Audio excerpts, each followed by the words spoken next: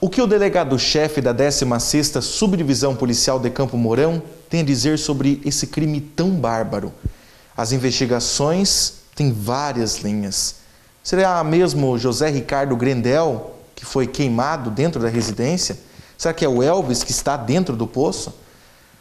Quem vai descobrir isso é a investigação da Polícia Civil aqui de Campo Mourão. Vamos conversar com o Dr. Nilson Rodrigues da Silva, o delegado-chefe. Doutor Nilson, várias linhas de investigação, nada está descartado até o momento. Né? Todo mundo trabalhando. É a determinação realmente é um trabalho realmente incansável que estamos fazendo para essa investigação. Né? Nós precisamos realmente, primeiramente, é claro, você bem mencionou, identificar quem está na fossa, né? no interior da fossa. E também identificação de quem foi queimado lá no interior da casa. Então existe um corpo no ML que está queimado, que carece de investigação, não tem como a família reconhecer por que está queimado, precisa de outros tipos de exame, isso aí o médico está providenciando. E com referência à pessoa que está na, na, no interior daquela fossa, também ele precisa ser retirado, né? Creio eu que pode ser hoje. Aí nós vamos identificá-lo e e realmente reunir, né? Fazer com que ele também participe das investigações. Mas eu falo para você com certeza, essa investigação ela está caminhando muito bem, né? Então são N informações que chegam ao nosso conhecimento. O povo está nos ajudando. Sempre eu falo para os senhores que o povo é o braço direito da Polícia Civil e Polícia Militar, né? E nessas horas realmente é que você analisa o comportamento do nosso braço direito, que é o povo. E o povo tem dado muitas informações ótimas para a polícia. Então isso tem auxiliado para que nossos investigadores saiam a campo, conferindo as informações, né, reunindo com outras provas que eles possuem, tudo com a finalidade de dar uma licitação para o fato em si.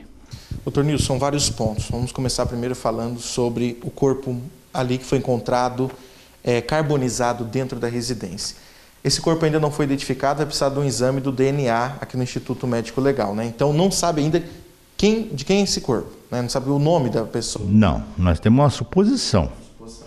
Nós temos um nome conosco, mas é uma suposição, carece de investigação, que era uma pessoa que morava naquela casa, não é? E como eu disse para você, quanto a pessoa da fossa, que está no interior da fossa, precisa ser retirada, né? Para que, se tiver condições, vamos apresentá-la para a família, a família faz um reconhecimento, aí sim, nós temos um nome realmente para trabalharmos. Mas nós estamos com uma pessoa desaparecida desde sexta-feira, né? E também o morador da, da chácara também passou, passou a estar desaparecido. Então nós achamos que possa ser ele a pessoa que está queimada mas é uma incógnita ainda. Isso aí depende, como eu disse para você, de uma conclusão de trabalho de investigação. Eu creio que está caminhando muito bem, né? o povo está colaborando com a polícia e, e rapidamente nós vamos ter uma solução para o caso. Doutor Nilson, alguém viu o José Ricardo Grendel de bicicleta na rua, né? Essa pessoa será ouvida pela Polícia Civil. Sim, não tenha dúvida nenhuma. Todas as pessoas que é, participam do quadro de investigação, elas serão convidadas a serem ouvidas. Tem umas que já foram ouvidas na delegacia, colaboraram, né? outras virão também, e eu tenho certeza que meu pessoal está a campo buscando essas informações, né? com as pessoas em si que estão colaborando, e como eu disse para você, e nós vamos chegar a um ponto final positivo nesse, nesse crime que está sendo investigado. Está a palavra do Dr. Nilson Rodrigues da Silva. Ainda o corpo não foi retirado desse poço, então não tem a confirmação se é o Elvis mesmo que está dentro desse poço. A investigação da Polícia Civil vai trabalhar para ter o esclarecimento, a motivação desse crime e tudo mais. Doutor Nilson, outro ponto também é acerca da família do Elvis. Eles também serão ouvidos nesse caso, mesmo né, antes da retirada desse corpo. Né? Precisa ouvir a família. Né? Sem dúvida, tanto a família do Elvis como a família do Grandel, né, que morava na chácara. Então, eu tenho certeza que vão colaborar com a investigação, né? explicando qual, qual era o comportamento de um e de outro. Ambas famílias são portadoras né, dessas informações. E isso vai fazer, vai, vão ser muito úteis para a polícia no rol de investigação dos fatos. Ainda é considerado um mistério, né? Para nós é um mistério, eu creio para, para o público de forma geral, né? Não para aqueles que tiveram participação no fato em si, né? Mas como eu disse para você, nós já estamos com bastante informações. Vou daqui a pouco sentar com meu, minha equipe de investigação para a gente fazer uma peneirada, né? Para a gente poder pegar um norte realmente, qual seria o caminho exato e que vai se surtir um resultado positivo. Nós vamos continuar acompanhando essa situação junto com o senhor, doutor Nilson.